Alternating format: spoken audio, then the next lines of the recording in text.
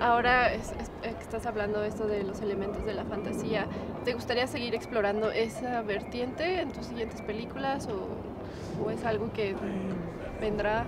En la próxima película no me interesaría eh, la fantasía ni el terror, igual que después de ser él y me llegaban ofertas o interés por hacer ciertas cosas de narcotráfico o de crimen, etc.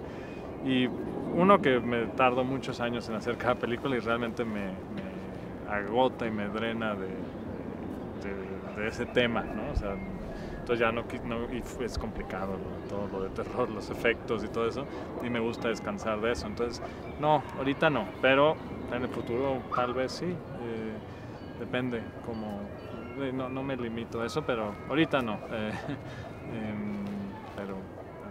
¿Y vas a buscar otro tono, otra forma muy distinta como lo hiciste entre Heli y, y, y, Región Salvaje? Porque hiciste un salto tremendo entre los dos. Sí.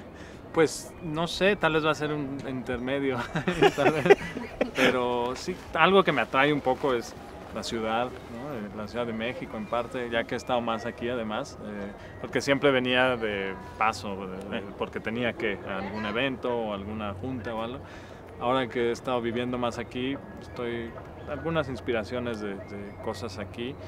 Em, no sé, es un país, eh, México es un país complicado porque te inspiras a veces para ciertas cosas y, y luego te empiezas a limitar por eh, cuestiones de autocensura en, parte por lo que ves cuando la gente cuenta las cosas que pasan aquí en México específicamente, eh, te pones en peligro, ¿no? O sea que te, te, sientes un cineasta, un pintor de la realidad mexicana, mexicana. Sí, pues es lo que me inspira, sí, casi por eso también me ha costado mucho eh, hacer algo en Estados Unidos, por ejemplo, aunque desde él ha habido mucha, mucha oferta, ¿no?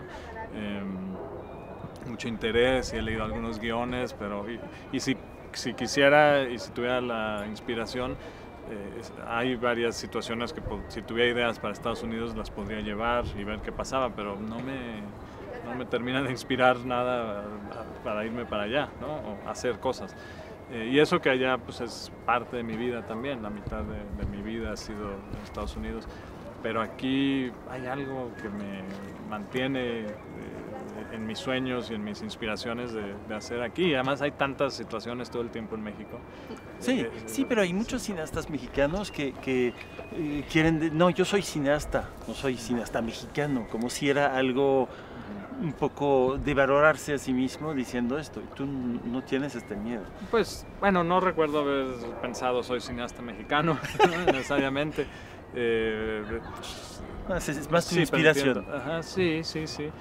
Y hay una cosa aquí de cómo, de cómo se hacen las películas, de hacerlas, o sea, en cuestión práctica, que me gusta y me inspira también. O sea, no sé, eh, aún hay una, hay una magia aquí que me atrae. Supongo que existía en otras partes también, ¿no? Pero hay algo aquí que me, me, ilusiona y no me imagino no haciendo películas en México porque me, me encanta no solo eh, los temas, etcétera, pero también como aquí se producimos, como yo he producido películas y como sé que algunos colegas eh, lo hemos hecho, hay algo muy bonito de eso que, que creo que no es así en otras, en Estados Unidos por lo menos, tal vez en Europa, en, ciertos países, en, Latinoamérica obviamente también, pero hay algo que, que, que sé que es muy especial de, cómo hago el cine aquí.